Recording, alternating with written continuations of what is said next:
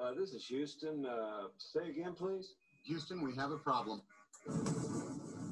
We have a main bus be undervolt. We've got a lot of thruster activity here, Houston. Now. It just went offline. Oh, there's another master alarm, Houston. I'm checking it quad. Twice there no refresh valve. Maybe it's a quad. We've got a computer restart. Configure the RCS. We've got a When base these things light. fire, doesn't make any We've got multiple caution and warnings, Houston. We've got to reset, restart. All right, I'm going to SCS. Like the heart rate just skyrocketed. EECOM, what's your data telling you? Uh, O2 tank 2 not reading at all. Tank 1 is at uh, 725 psi and falling. Fuel cells 1 and 3 are. Uh, oh, what's going on here? Flight, let me get back to you. Flight GNC?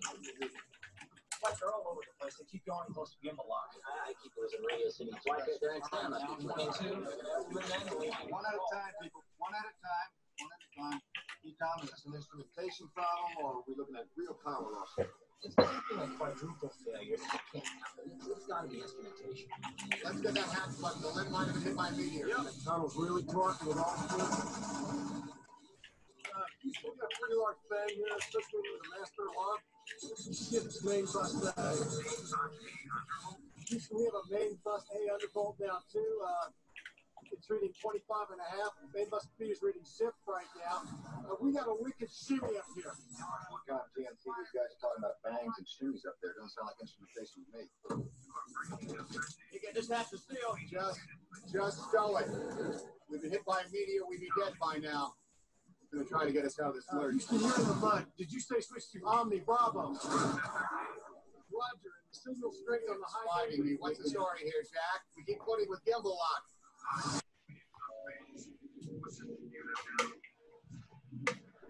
Okay, dear. SMRCS, helium 1. Switch to Omni, Charlie. Houston, I'm switching over quad C to main A. Okay, Houston. Fuel cell 1. Fuel cell 3. We got a main bus B under volt. Cryo pressure. Two compressor. AC bus 1. AC bus 2. Command module computer. And O2 flow high. I don't, I don't know. Maybe this is a caution and warning. Houston, we are venting something out into space. I can see it outside, window one right now. Definitely, uh, gas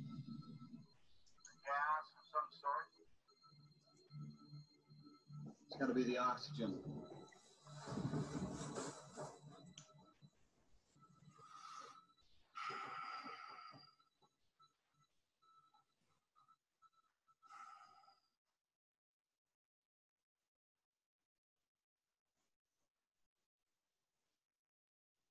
Roger, Odyssey, we copy your venting. Give me an alarm. Okay, let's everybody get the Four levels check. Okay, now let's start right back on. And good afternoon, everybody, from the University of Illinois Aerospace Engineering Department. We are celebrating our 75th anniversary of the department. And today, a very special day, April 11th, is the 50th anniversary of the Apollo 13 launch. I'd like to welcome you all out this afternoon. We have a pretty good program set up for you, some pretty distinguished panelists that are going to discuss the events of that time and what it means for the future as well. So uh, we'll get things rolling here very quickly. I'm going to do some uh, preliminary introductions of the panel, and uh, we'll let the panel uh, introduce themselves as well with a little more detail, and then we'll get into some questions. Uh, before we do so, I would like to talk a little bit about logistics here today.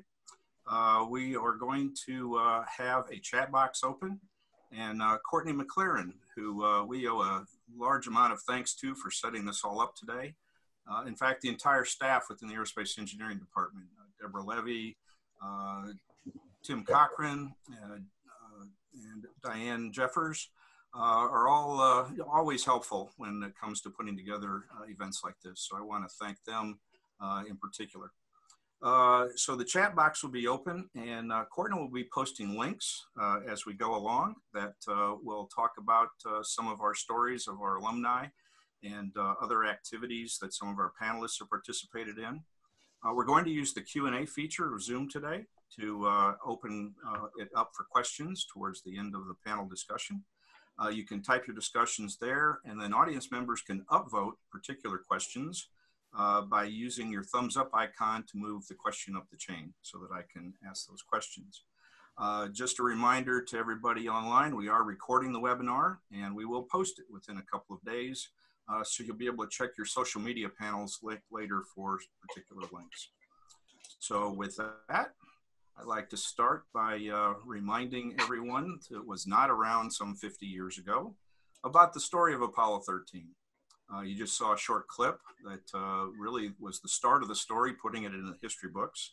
Uh, Commander Jim Lovell, uh, Command Module Pilot Jack Swigert, and uh, Lunar Module Pilot Fred Haise were the three crew people that were on that mission. Uh, they got off to an interestingly good start on the Saturn V, but soon thereafter, a malfunction in one of the oxygen tanks brought the mission perilously close to a fatal end. Uh, fortunately, it was a successful failure. And uh, one of the people who helped contribute was there in the control room when this happened was uh, Mr. Bill Weppner, who was a guidance, navigation, and control flight controller for Apollo 13. So Bill, I'd like to start with you today. Let you take a couple of minutes, uh, talk about your career trajectory and uh, how you got to that control room in the first place. Uh, Bill, you're muted right now. There you go. You can hear me now? Yes, sir.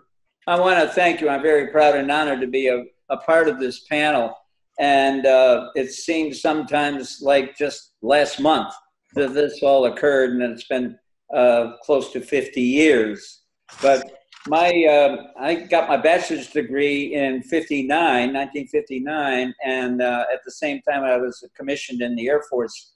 And so the my tour at NASA was my third duty assignment uh, in the Air Force from 1968 until 70, and I was one of about 300 Air Force officers assigned to NASA in all aspects of flight control and manned spaceflight, really, from flight control to landing and recovery and uh, mission planning, all facets. And the the uh, objective was to train us for a Air Force program called Manned Orbiting Laboratory, which did not reach fruition, but uh, it enabled 300 of us to be part of history during the uh, the heyday of Apollo. So, Bill, what was it like to sit on console that night when the uh, failure first started? Well, uh, actually, I had just finished dinner, and uh, I was with another flight controller by the name of Bill Straley, who may be listening uh, this afternoon. I'm not sure, but um, he we had just finished dinner and we uh, came back to my apartment to listen to the air to ground on a station called KMUSC for um, um, a manned spacecraft center. And uh, we heard the air to ground and Jim Lovell or Jack Swigert's uh, announcement to the ground that the, uh, they had a problem so with that, uh, Bill drove into uh, the uh, control center at that time. This was no around nine or ten in the evening. I decided I was going to go to bed and get up early and be fresh. Uh, so because we were going to need multiple teams uh, from that at that point to the end of the mission. So I was not in the control center at that time, but I did notice uh, that in the film clip there was uh, that was a, a, a, typical time of that mission. They had just finished an, a TV, a live TV broadcast, and of course then they were asked to stir the cryos, that famous command from the ground, which set off the uh, the short circuit, which resulted in the oxygen explosion. At any rate. Um, there were it was typically manned about one or two people per console well believe me within one hour there were probably three times that many people in that control room. I'll bet. I'll bet.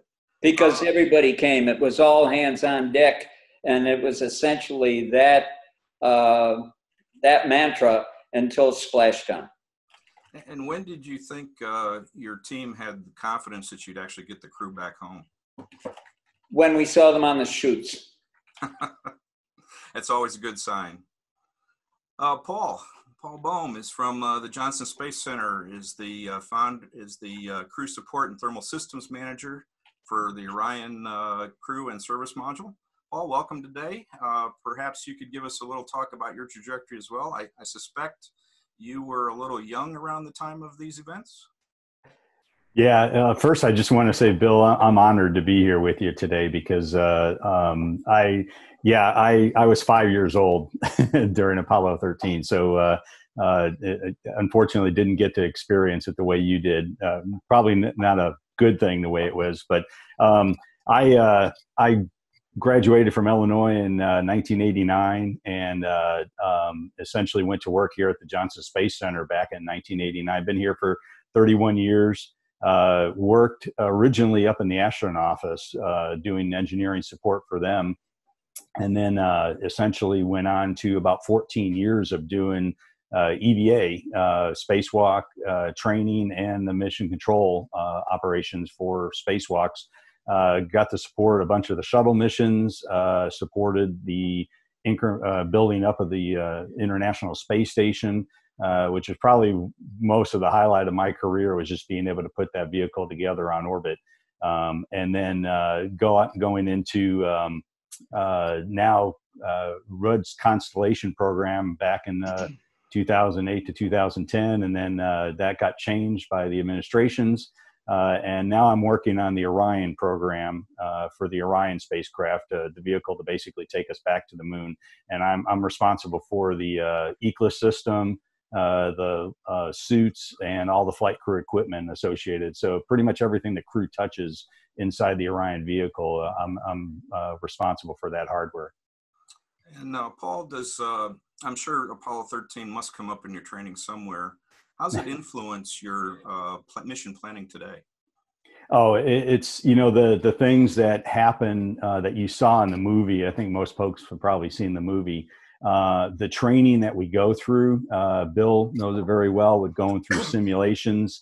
Uh, you know, the the sim sups uh, just do a great job at taking you and throwing the things you didn't expect at you to make you sweat while you're sitting on console. Uh, so, been through a lot of those sims, and and what that does is it really, I want to say, it takes the edge off so that when you get in that situation, you almost feel like you've been there before and and so it, it it gives you that familiarity with the procedures with the hardware the things that you, you think you know about it and you can try to work through it. And and you approach it from a i want to say almost a business like manner from that perspective is is is what the mission control team is taught to do. Very neat very neat. Also joining us today from washington is alumnus michael miller and uh, Mike was uh, a graduate of our department and is now the founder and managing director of ComSpace Development. Uh, Mike, could you tell us a little bit about what you do, how you got to where you're at? Sure. Uh, first of all, thanks for having me on here. It's uh, exciting to be part of this event. Um, I was in high school during the Apollo 13 uh, era, but I watched it very closely because I wanted to be an aerospace engineer chose Illinois uh, to go and graduated in 19, 1976. Uh, it's interesting, you know, where uh, today's economy, what's going on with the virus, uh, you know, uh, there's a lot of layoffs, there's a lot of problems. I happened to graduate during an era where it was post Apollo, and there are very few graduates at Illinois. I think I was one of maybe about a dozen to 15 uh, students that graduated in 1976, and some jobs are hard to come by. Fortunately, I started uh, my career at McDonnell Douglas working on um, launch vehicles, then went on to uh, do some commercial communications, uh, satellite program management, at a company called Hughes Aircraft at the time, and eventually became an entrepreneur. Uh, teamed up with a couple of folks and was part of the founding group at Orbital Sciences Corporation. We kind of back then thought that uh, all the lessons that were learned from Apollo could now be taken and done by, by, by business and uh, try to make a, a, successful company out of it. Fortunately, that worked out. And over the years, uh, been a serial entrepreneur, got into investment, and now I do some uh, consulting uh, in uh, uh, in the aerospace and IT industry, and watch all this new activity, new space, and the new economy.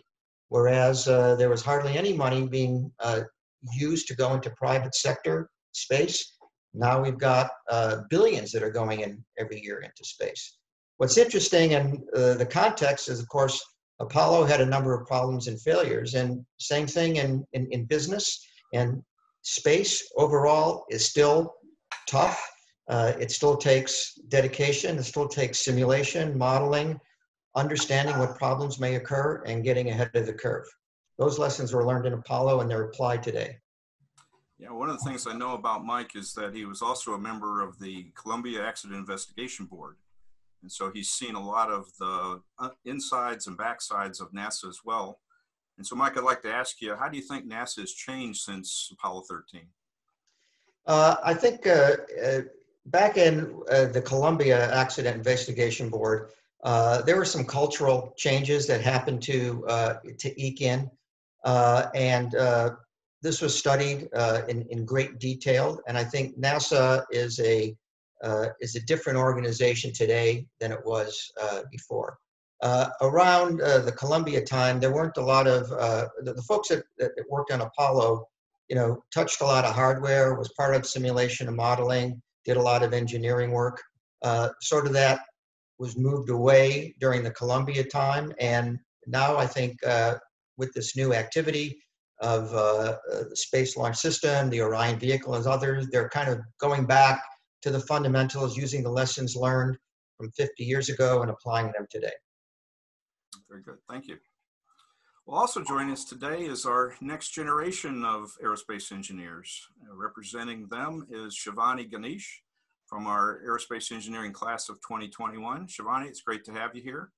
Yeah. And uh, I'd like to ask you to talk a little bit about how you uh, got excited about the space program. Absolutely. Well, thank you so much for having me. I'm when Apollo 13 happened, uh, I obviously wasn't around, um, but I definitely remember reading about it in the history books when I was doing uh, various History Day projects uh, when I was in middle school, actually. And that led me into really realizing that space is such an expansive frontier and the learning never really ends. So that's what led me into aerospace here. Um, and I've definitely continued on that learning journey with the Illinois Space Society, uh, which is um, my family on campus. I'm uh, mainly involved in the aptitudes of rocketry and educational outreach initiatives. Um, but that's how I've stayed involved, really, just exciting um, endeavors with inspiring the next generation of space explorers. So, yes. Great. Well, you know, I just saw the clip from Apollo 13 that always brings chills to me when I see that. Uh, seeing how risky human spaceflight is, are you still attracted to the field? Yes, actually, my career goals are to end up within human spaceflight, especially within ECLSS uh, and crewed systems integration endeavors. Um, mainly because I think at its core, we're people teaching people about this expansive universe that we live in. So, what better way than pushing the envelope in as far as how much we can achieve together? Great. Well, as you all in the audience can tell, uh, we've got a really exciting panel here, and I'm really privileged to be able to work with these folks to bring you our program today. Uh, want to encourage you to start asking your questions that you may have in our chat box. Uh, you'll find that at the bottom of your screen, about the center area, it says chat. You can enter questions there, and I'll be able to see them as they come up on the screen. Uh, there's an interesting parallel between what's happening today and what happened during Apollo 13. Uh, in fact, the uh, uh, command module pilot, Jack Swigert, was, was somewhat originally the, the backup commander for this mission. TK Mattingly caught measles, or at least was exposed to them uh, just prior to the mission. Usually, when that happens, the entire crew is flipped out for the backup crew. But in this case, so close to launch, and for another variety of reasons that some of the backup crew were not quite in good steads with management at the time, uh, Jack was just repositioned into Key TK's job and moved forward uh, with the launch of Apollo 13. Uh, unfortunately, that left uh, Charlie Duke back home, and uh, he never did catch the measles. Uh, but shortly thereafter, a vaccine became available, and now we don't talk that much about it. And I guess a little comment here for all the anti vaxxers out there uh, for those of you that want to get rid of all vaccines, just look what's happening today when we don't have one vaccine for COVID 19. But uh, that uh, infection that those folks had would spread by contact with droplets, cough to cough. Uh, so, a lot of similarities for how an entire mission was put upended uh, for its crew. as a result of uh, this kind of background. Uh, so I'd like to ask the panel, uh, given this, uh, are there other lessons that we can learn from these viral coincidences, if you will, and uh, how the technical readiness of getting ready and being able to step in and fix Apollo 13 to bring the crew back home, uh, can that be applied to today's pandemic? Bill, you want to take a shot at that? Well, uh, as you were introducing that question, I started to think would we replace one crew member if it had been COVID 19? And I would say emphatically no. Because as we've all known, and it's been, uh, we've been told for weeks now that if one is just in contact uh, with COVID 19, they can be, become a carrier. So uh, they would have replaced the entire crew and probably put them into quarantine for 14 days minimum. So that that launch date would have had to been rescheduled. Had it been something as, as serious as the virus that we're dealing with today, measles by comparison was um, not in that category at all. Paul, how do you see it? Yeah, one of the interesting ones was uh, here at JSC. They're actually going through the anniversary of Apollo 13, and and they're doing articles uh, based on the particular events. And and the the day before launch here, they had the article here at JSC about the measles case. And uh, one of the interesting things about it was the fact uh, that uh, two of the crew members had been exposed to measles as young as you know young adults or something in their previous uh, life and they found out they did the blood tests on them and found out that Lovell and uh, Haise had the immunity to measles, which was one part of the reason why they were allowed to continue flying.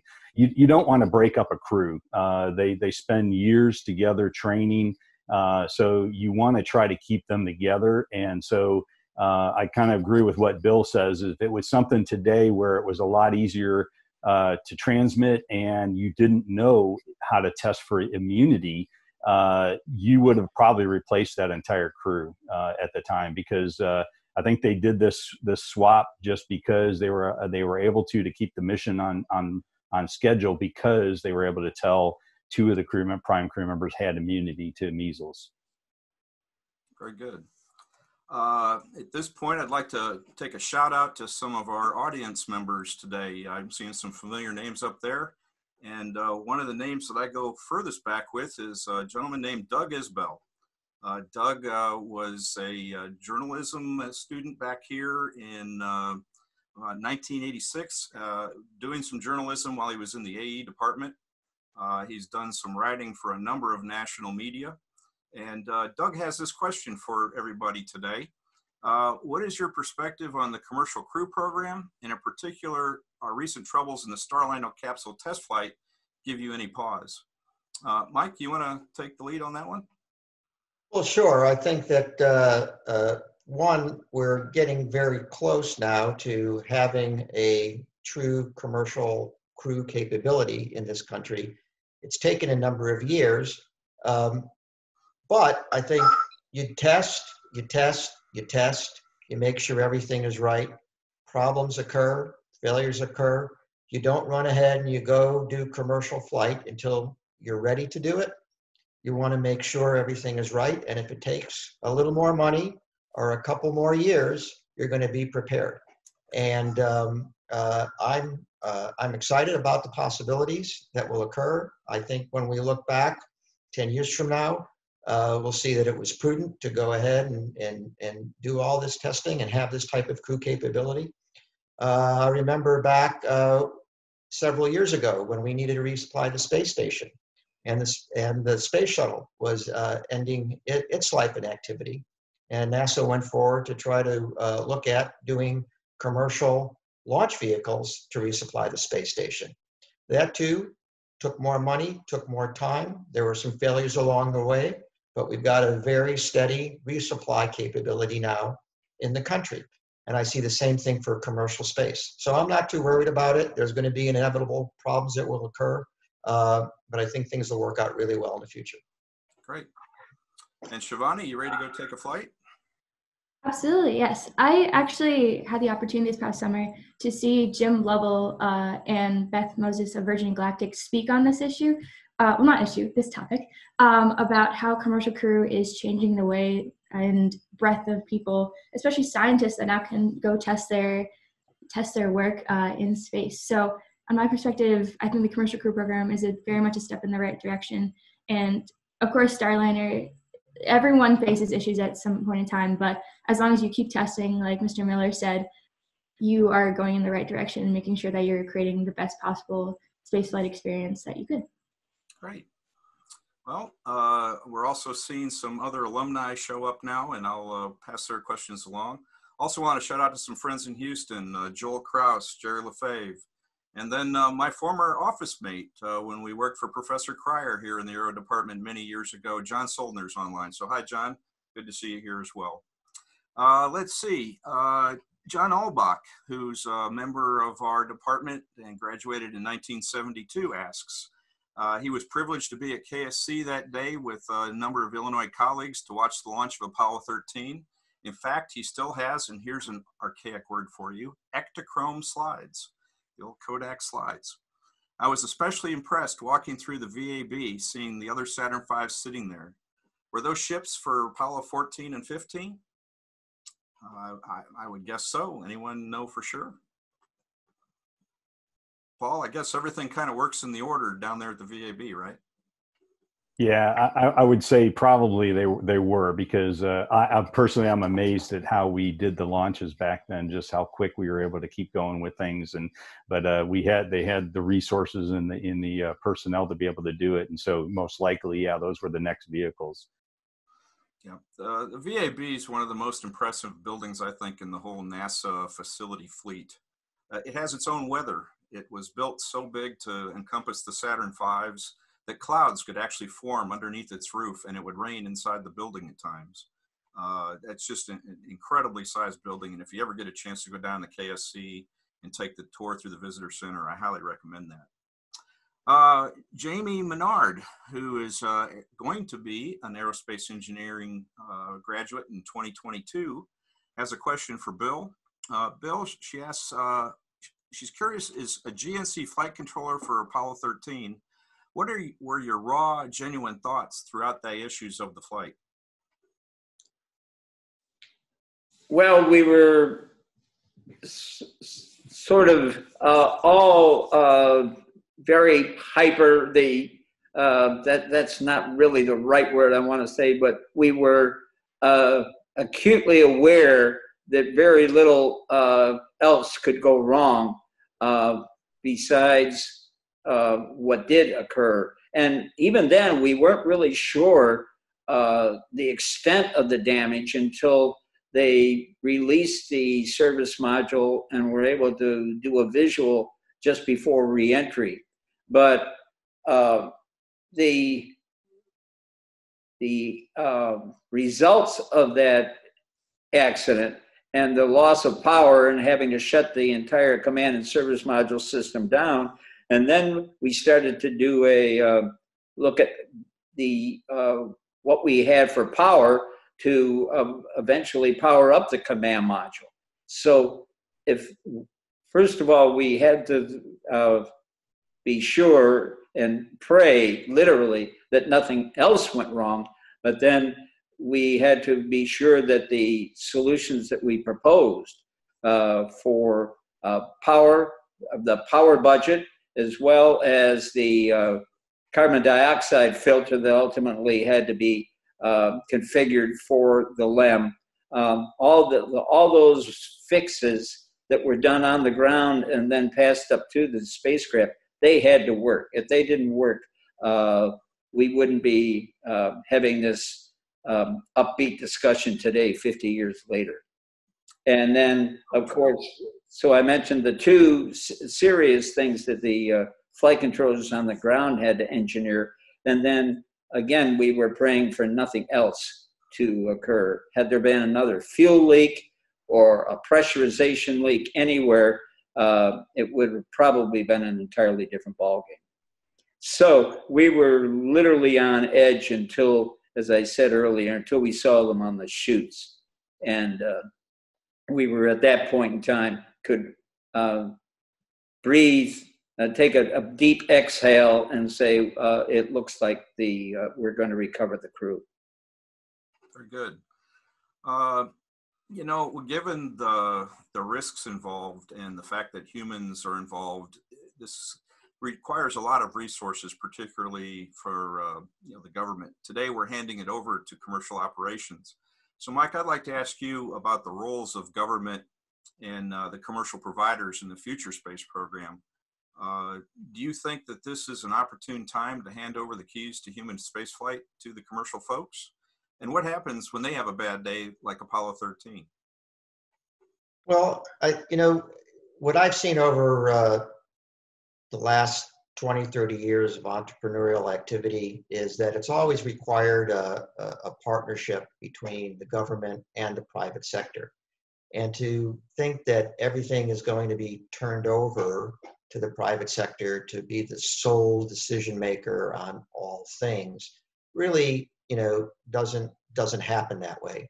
Um, and to also on the other side to think that uh, only you know government uh, knows how to make decisions or can make safe decisions, that's sort of been proven out that you know everyone can fail, everyone can make mistakes, and it it needs to be you know um, a, a group dynamic where both the private sector considerations and the government considerations are worked on together. Uh, Mike, if you remember back, uh, we, we looked at this a little bit on uh, around the year uh, 2000 when they were thinking about privatizing the space shuttle.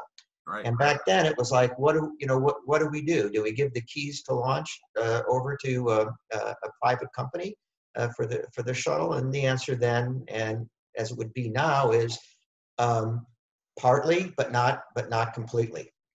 People forget that you know, uh, sure, life is on the line, but companies and private sector have a lot to lose. Also, uh, they cannot afford to have failures. They cannot afford to have big problems because their entire businesses would go away. So they have a bit of incentive to make sure things are right from the get go. That's true. Uh, Paul, uh, you know, we've had a couple of other incidents since then. Um, thinking back to the Apollo 1 fire, uh, NASA's management was in a position at that time to basically say, we're going to run the investigation. Uh, by the time we got to Challenger and Columbia, those investigations required congressional approval and boards and all sorts of things like that. It was a different time and a different day. And now we're in a, in a new environment here today. In fact, as we move forward with Commercial Crew and Orion, uh, something like this happens, what's the day after look like? And uh, how will NASA handle something like that today? Well, I, I think you, if you're talking related to a, a, like an Orion spacecraft or a commercial crew spacecraft. Yeah. Uh, commercial crew one. Well, both actually. Both, yeah. yeah will they be so, handled differently? Um, I proud. I, I, have to look at probably not, uh, just from the standpoint of uh, you guys were mentioning the uh, Starliner, uh, and we we literally were investigating that with Boeing uh, we actually um, literally uh, Thursday we were getting an outbrief of you know what the results of that were and, and some of the lessons learned from that uh, by the folks that were on from the NASA team that were part of that investigation with Boeing uh, to to it. So it'll be a joint operation when we go into something like that. Um, uh, mainly because obviously, if we're providing the astronauts to go on there along with you know, uh, private company astronauts, uh, NASA is going to want to know what's going on with the spacecraft. So uh, we will do that. And, and I suspect, you know, for obviously for something like with Orion, um, we'll do the same types of things that we've done in the past. And, and I think probably a little bit higher level oversights will come into play uh, just because of the visibility of it um, from that aspect of it. So um, I, I, think you know both of them are probably a bit similar. We do try to let the in, in the commercial crew program, NASA is trying to let the commercial providers uh, do their thing and try to give them some leeway on that. Um, but we are uh, jointly, when we have uh, incidents like this, looking at what they're doing and trying to make sure we're all learning the lessons learned from it. Very good. Thank you. Uh, Bill, Philippe Gabil in our audience is asking uh, the atmosphere in the control room during the whole Apollo 13 disaster. How accurately did the movie describe that? Very, very accurately. And let me um, give you just a, an anecdote. Um, I've got a couple of pictures of some of the major players back then, and I've got it on a flash drive. I don't know if I can show those or not. Let me just try one here and see. Can you can you see that? Can you see my thumbnails? Uh, not yet. No. All right. Let me just put that back. Um, I can describe it. There was a flight dynamics officer by the name of Jerry Bostick. And um, as it turned out, uh, 25 years later, co- coincident with the coincidental with a couple of uh, books being published, Gene, Gene uh, book called uh, Failure is Not an Option, and then Jim Lovell's book uh, called Lost Moon, which ultimately uh, changed topics, changed, changed titles to Apollo 13. But Lovell's book had come out about coincident with the 25th anniversary. And Jerry Bostick's son at that time worked with or for uh, Ron Howard. And uh, so he was on in Ron Howard's ear saying, Well, you really ought to look at that. It's a really fantastic story. And he ultimately was able to talk Ron and some of his partners to visit Houston and talk to the flight controllers who were part of that uh, successful failure. And so, because Ron was saying, I can't do it now, I've got uh, two movies uh, that I'm making and two more in the barn and this kind of thing. And uh, when he came back from Houston, he said, We got to make this film. and Jerry Bostick, it turns out, uh, served as a, um, as a, a coordinator and a consultant in the making of the movie on one condition, and that was that it was accurate. And so that's a long-winded answer to the your comment, your question. Was it accurate? Extremely accurate. Yes. That, that's good to hear because uh, I had an opportunity to either show the documentary from the Apollo 13 uh, videos that had been produced around that time, very grainy, or use the Apollo 13 clip from the movie, which was a lot clearer to see, and was hoping it was somewhat representative of what was going on, not only in the capsule but on the ground. Well, they even made the actors train on what they call the vomit comet to go through weightless conditions. Very good. Uh, Paul, uh, how much redundancy is planned into systems today? Uh, for instance, in the first launch of the Columbia Space Shuttle, there were uh, uh, three uh, backups for software and hardware and so forth. are we still maintaining those levels of redundancy in our systems today? there, there, there's still a certain level of redundancy. We had the when you start talking about deep space, deep space exploration, uh, the biggest challenge we face, same thing Apollo did, is mass. Uh, you know, having having enough capability to lift everything that you want to take into orbit, and then getting it through translunar insertion to get it on the way to the moon.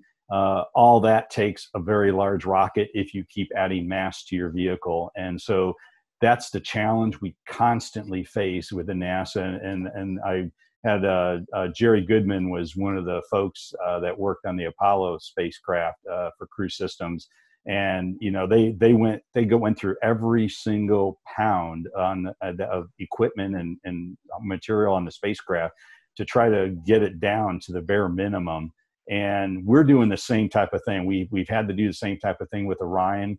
Uh, we've had to scrub mass out. We've had to look at the systems. What we've done also is take a look at the systems that we've flown on previous vehicles, like the shuttle, like Apollo, like the ISS, and we look at those and go, okay, so what are the typical failures that we've had with those type of systems?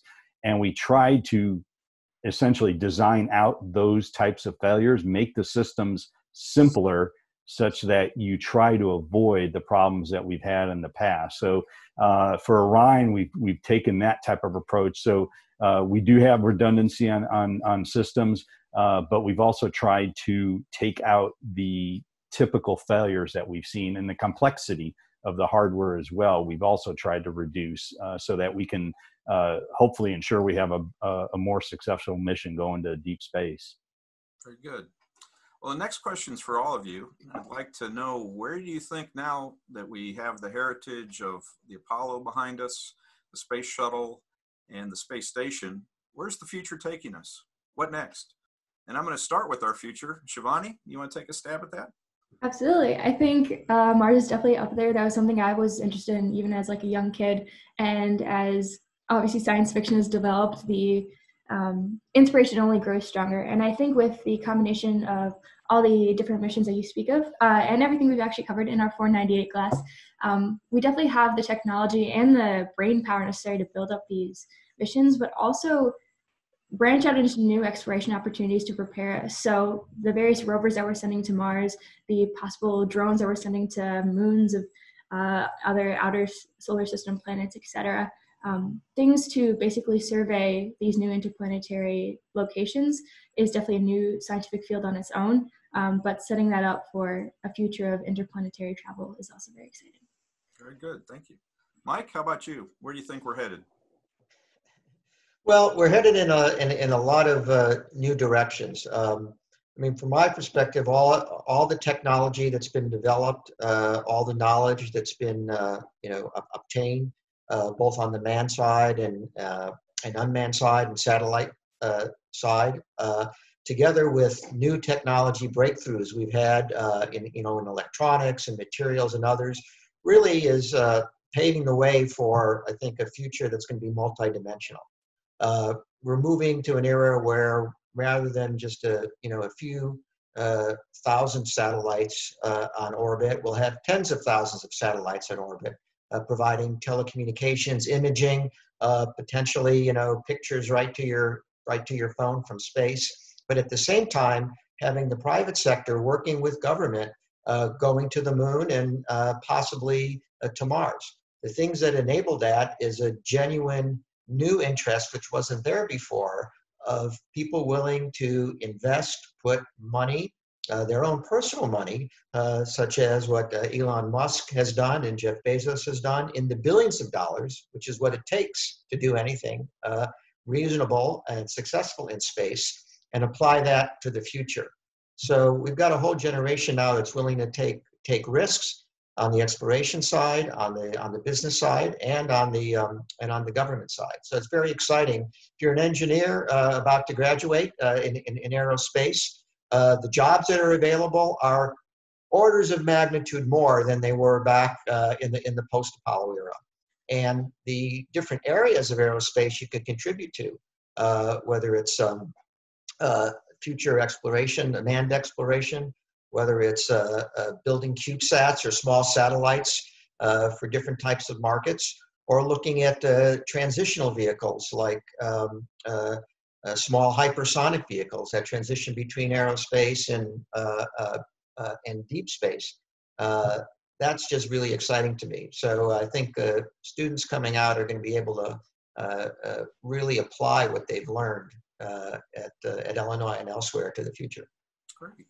And if I can add real quick, fingers crossed that there are jobs at the end of this, um, which would be really exciting. Uh, but to build off of uh, what Mr. Miller was saying, of course, we're working across uh, the private uh, and uh, government sector line, um, but there's also a lot of international endeavors, especially for human spaceflight going on. India, for instance, is working on their uh, crew right now as far as developing their first human spaceflight training facility, as well as working on the various rocket and habitation modules that would be required to do uh, these various orbits. And so not only is it just an American endeavor, there's a whole world and a set of new countries that's really uh, building upon this, this new space uh, race, but in fact, it's just a collaborative measure across all these countries. Uh, Paul, you're kind of living in the moment right now, in the future almost. I. I, hope so. I really do. Um, I, like I said, I've been here for 31 years, and uh, uh, I've been through uh, two previous efforts to go back to the moon or on the Mars. Uh, and and I keep telling people this is actually the first time we're actually building a. We actually built a vehicle. The the the Artemis One vehicle uh, is down at KSC right now, and we're we're going to be hopefully launching that next year. And and we're we're actually building real vehicles to go back to deep space, and so that to me is the most exciting part of this. And I, I really agree with everyone else. I hope this is the stepping stone, and uh, kind of what also what Mike was talking about from the standpoint of the partnerships. Uh, I am a big believer in that, having lived through the beginning of station. Uh, and the partnerships that we had with the Russians. I know that at the time, I remember thinking in the early 1990s, oh my gosh, we're going to be partners with the Russians. um, and it, it, just worked out. I, being a EVA flight controller uh, in 2004, uh, when we lost our capability with the U.S. spacesuits on station and we had failures that we needed to go outside for, uh, we collaborated with the Russians and used their spacesuits and sent our sent the crew out sent them over onto our U.S. segment, and they fixed it and went back into their airlock, and we were all happy. Um, so, uh, you know, that type of redundancy and cooperation between partners, is, I believe, is the way of the future. There, there's no doubt about it, uh, because there's no way we can just do this by ourselves. Yeah, that's so true. Well, Bill, there's another movie that comes to mind. It's called Back to the Future, and it seems like you lived it already and uh, we're trying to re-emulate that now with some of the work we're doing and then uh, perhaps on other places. What's your feelings on the topic? On the topic of the future well of course you're uh, i'm removed a couple of generations. I really feel feel the payoff is in low earth orbit. Colonization and uh, industrialization but in low earth orbit. I just don't think that i think we can accomplish uh, a whole lot for the near future, and I say maybe five or ten decades, uh, with unmanned satellites for interplanetary exploration and deep space exploration. Okay, so I'm gonna Uh, in the inter, maybe at an intermediate uh, distance, and what what about the moon? And um, there's a whole lot of op- opinions on uh, what we would do as objectives uh, when we, uh, and I do say when because I'm convinced it'll it'll occur. We when we return uh, re, uh, return to the moon. I heard a, um, a fascinating talk by uh, an attorney at Ole Miss in Oxford a few months ago, and she deals with interplanetary law. And uh, what about all the artifacts, the experiments that are left on the moon, the footprints? Who owns them? And will the next uh, explorers to the moon be, if they're U.S., uh, if it's a U.S. team or uh, in, um, say perhaps international team, uh, are they going to go in and just uh, willy-nilly uh, plow over those footprints? Uh, whom do they belong to? They're they're uh, world treasures, and so that raises a lot of legal problems and legal questions. right all right so i've got a one word question for all of you are you ready robots or humans mike you want to start Uh, humans. paul Can I say both? okay you can cheat uh, I, I, I believe both. Absolutely. Uh, you have to have humans, and I believe you have to have robots. I, I think we we we need to do the thing where we learn from the the robots going out first to kind of set the stage for us to do the environments and and and learn the background, and then the humans go, and we're that much farther along when we get there. very good shivani I definitely agree. Uh, I think, like I said, I was saying before, the act of surveying these various planets before entering with uh, crewed missions uh, is very important. But I'm a huge human spaceflight nerd, so I'd have to say human in the end. and bill Well, near term, uh, the next several decades, I would say robots for deep space or intercontinental exploration, and certainly humans for uh, low Earth orbit. Very good. We have a question from our audience. Uh, Meg Hoffner, who's a grad from 2007 and uh, I believe got a master's degree in 2009, asks uh, During a mission, everyone has particular duties. Everyone uh, has the com flow laid out for them. Uh, you have the flight director on console giving directions like the general, the capsule communicator putting uh, all of that together for the astronauts on orbit. Uh, how did that all get set up in the first place? Who architected mission control? Bill? Chris Kraft. Yep. And and what uh, was it like working with Chris? I never had the pleasure or the honor of meeting the man. I knew uh, a lot of people that uh, were direct uh, spin-offs from from Chris. They uh, he had mentored them. Uh, Gene Kranz comes to mind, and of course uh, you've uh, heard the names of Glynn Lunney and um, Jerry Griffin, and uh, there was a, one other oh Cliff Charlesworth, who unfortunately is no longer with us. So those uh, those four, and there was one other uh, flight director. Actually, he was um, English, um, but uh, he he wasn't part of the Apollo program. But Chris Kraft and his team, uh, they literally wrote the book on all things flight control. They'd never done this before. No one ever had. No human had. And so they just sat down there and and uh, brainstorm what do they need what do what will it take what kind of computing power do they need what kind of personnel do they need and how many specialties do they need and um, yes so that's how that evolved Very neat. So, so how much time did you spend in the outpost?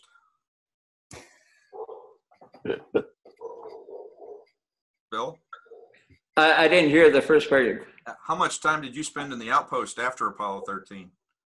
oh uh, you're talking about maybe the red barn was that or the singing wheel Well, that's one of them too. yeah. The outpost uh, that's that's a uh, uh, a tavern. I'm not familiar with that name. I'm familiar with a few.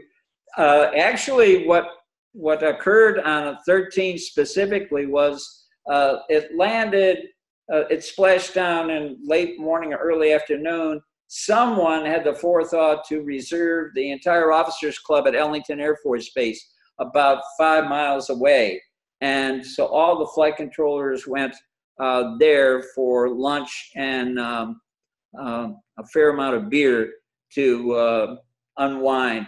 And so we we took over the uh, the dining room of uh, the officers club at Ellington for that particular mission.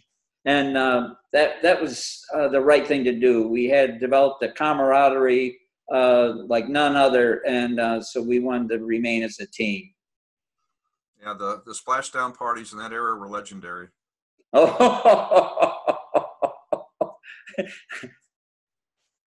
Yeah. Uh, Some more than others. Um, Apollo 11, I'll just mention uh, the, the Holiday Inn and probably all the uh, hotels in the area, but I, I was at Holiday Inn. Their entire landscaping was brutally trashed because the whole city of, of Houston descended on Clear Lake for, uh, for the event. Yeah, I can imagine. And uh, sort of a question for everybody. Um, what did your experiences in college, uh, how did they prepare you for your jobs today?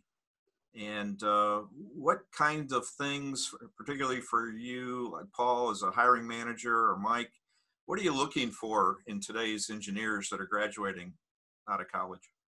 Uh, Paul, you want to start?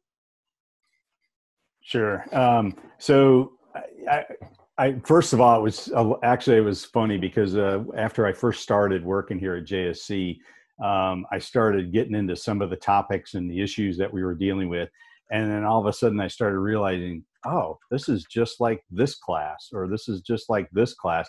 Um, uh, Professor Sintman's space environments class that I took back then, it was I think my last semester at Illinois when I was finishing up my master's.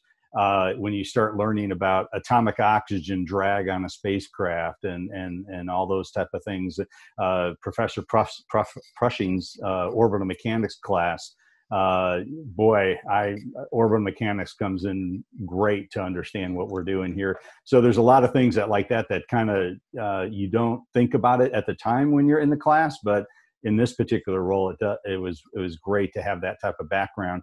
Um, I think as an engineer, uh, the way we're taught and the way we're we we we look at problems and the way we try to solve problems, uh, that that's a basic fundamental that you need to have in this type of field you know that that that, that discipline to step through you know the the, the process of, of of thinking about what the theory might be of what the problem is and then uh, you know figuring out what data you need to go and, and figure out what is the issue we've got a lot of them we're dealing with right now um, and so i think that helps and that's the type of thing you look at and teamwork as bill's mentioned uh, and and i've lived through with with mission control as well is just the teamwork. You have to be able to work with people. Um, if you, you know, so that's one of the biggest things I'll, I'll, honestly say is having folks that work well together in a team uh, that put themselves uh, just as a member of the team and and and uh, are are feeling like there's something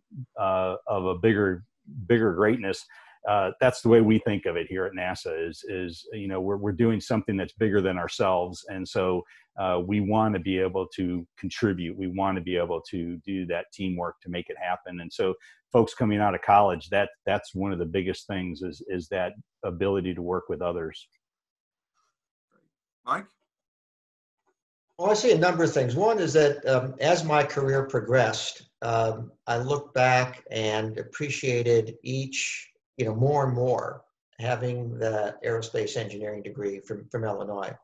Uh, one, obviously, being uh, learning about the fundamentals of aerospace in so many different disciplines. Aerospace has, has got many things uh, that you have to know, aside from orbital mechanics, obviously, uh, and, and, physics. You're learning about materials, there's, a, there, there, there's electrical, uh, thermal, you, you, name it, you go on. And a lot of these uh, disciplines can apply to things other than aerospace.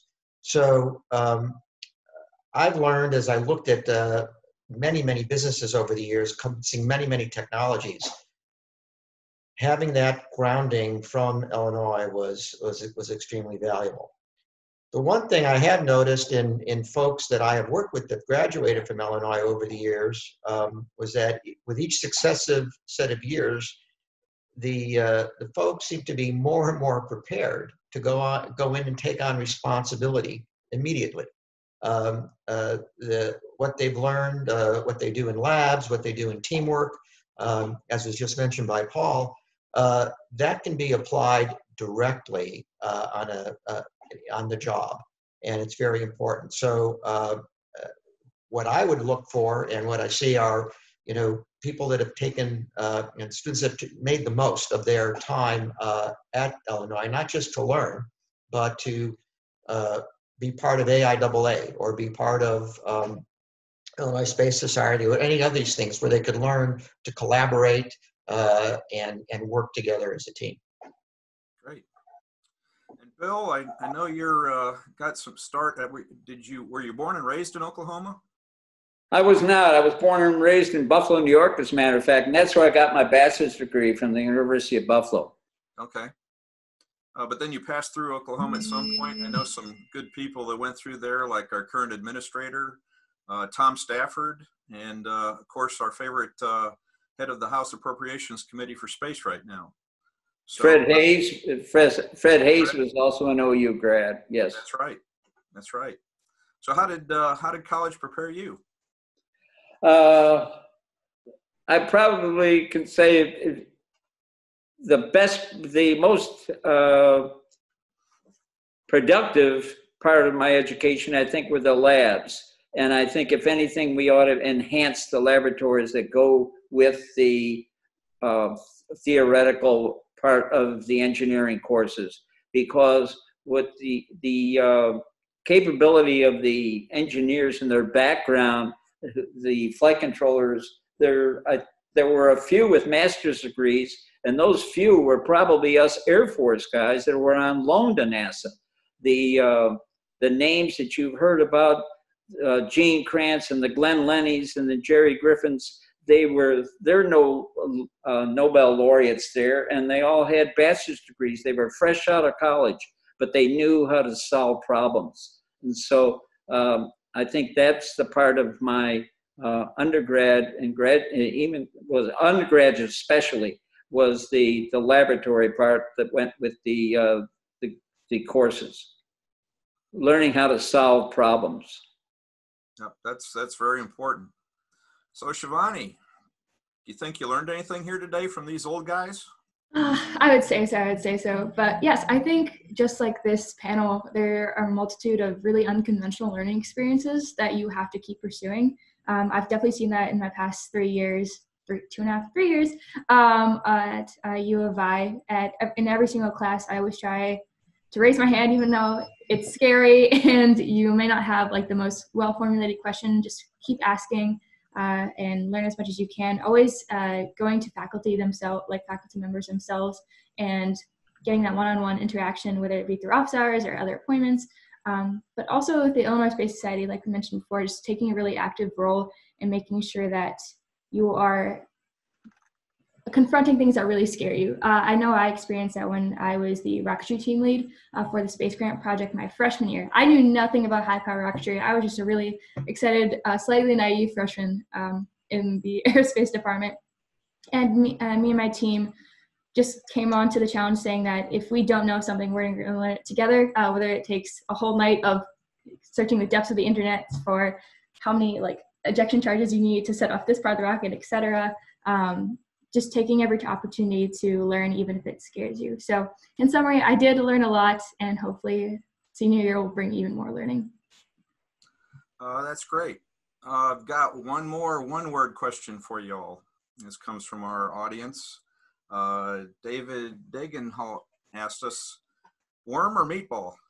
Paul, you got the meatball on your shirt there.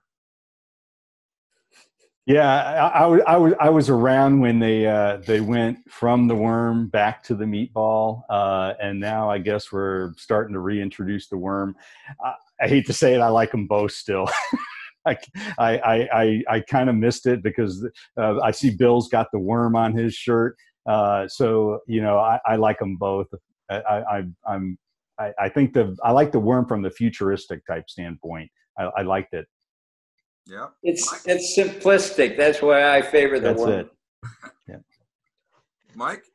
Oh, uh, it's got to be the meatball for me. And uh, if you ever watch the Apollo 13 movies, there's like thir- 13 little flaws in there, even though it was reproduced uh, perfectly. But there's a worm buried in uh, in one of the scenes, uh, which uh, I challenge you all to go go find.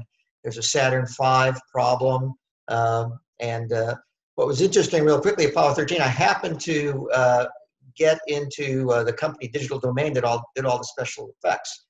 I was um, part of a company that uh, uh did position measurement and got to see what all those models look like.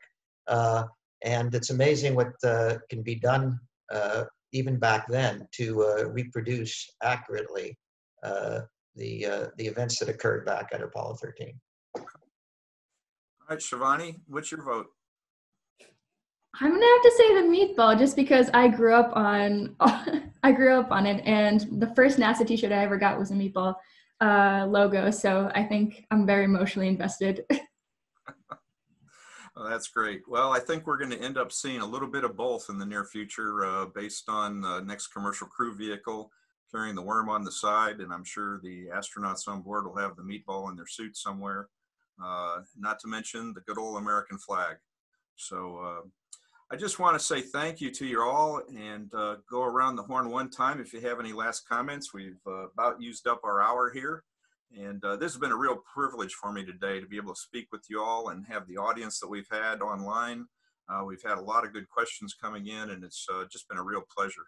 So, uh, Mike, you want to any last thoughts?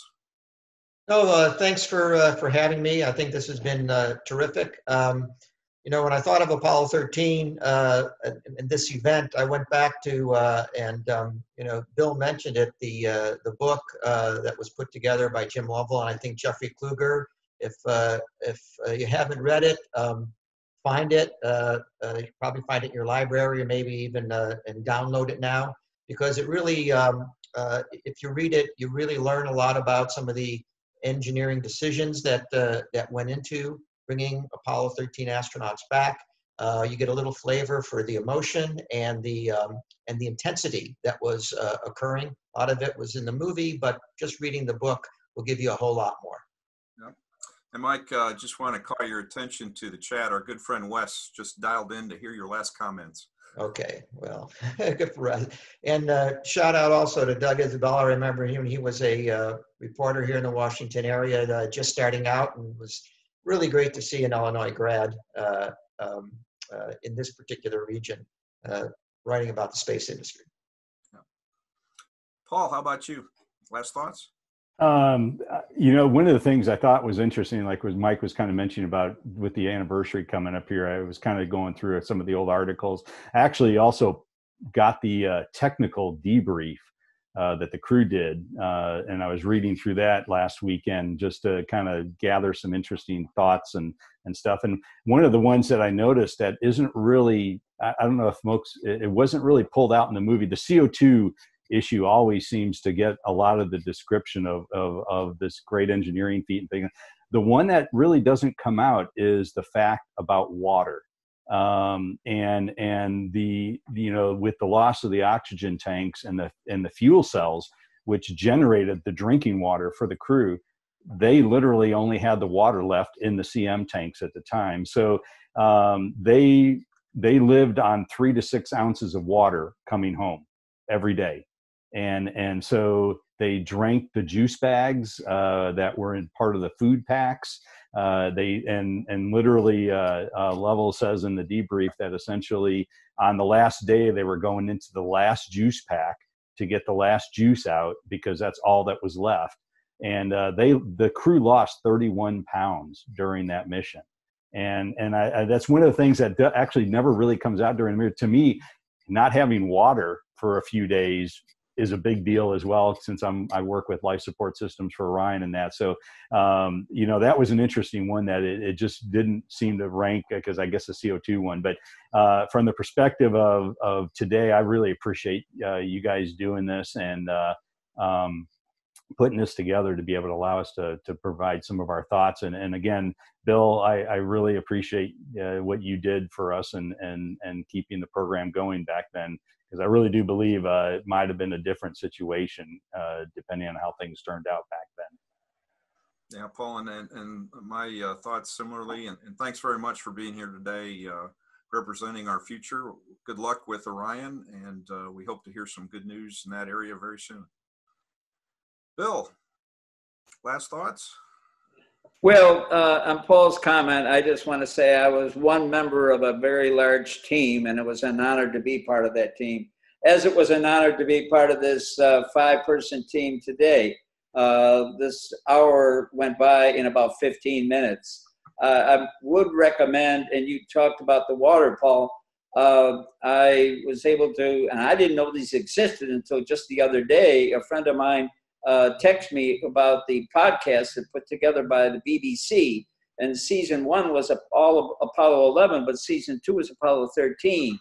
And uh, it's called 13 Minutes to the Moon. I'm not quite sure of the significance of that title, 13 Minutes to the Moon. But uh, it's number four talks about, it's entitled Power Brokers, and it talks about the uh, the design and the engineering and the problem solving that had to go into their shortage of power and how they had to reconfigure uh, with anticipation of powering up the command module for reentry. And then the other one, number five, talked about the uh, CO2 uh, problem and especially the water shortage that came out. Uh, that, those podcasts are very, very good. And just uh, just a, a word to um, uh, Shivani, uh, aim high, you're going places. Thank you very much. I appreciate it. Yeah, Shivani, uh, looks like you get the last word today. Whenever I go out talking to other groups, I always point out that uh, there's always a lot of inertia in systems engineering in the space program. Once you have something that works, you don't want to deviate away from it. And yet, we don't want to remain totally mired in the old ways of doing business. We'd like to be able to do things more efficiently. Uh, I hate to say it better, faster, and cheaper, and to be able to go out and achieve the goals that you and your generation are looking for. So I encourage you, c- continue to pursue those dreams. When you see someone that says no, show them why the answer is yes. And with that, I'll give you the last word. Absolutely. Thank you very much. So thank you, especially everyone that's on this panel. I'm definitely on the uh, lower end of the experience, but I really admire all the work that you all have done for the realm of human spaceflight and aerospace in general. It's really inspiring and reviving, especially in a time where college classes can be a bit uh, hard. Um, so it's a very good inspiration. Um, as far as final words go, I think what keeps me going as far as pursuing human spaceflight endeavors is especially what I heard this past summer. I was interning at the Adler Planetarium, uh, and for their Apollo 11 celebration, uh, Jim Lovell and Beth Moses were having a conversation about uh, the ver- their various eras of human spaceflight.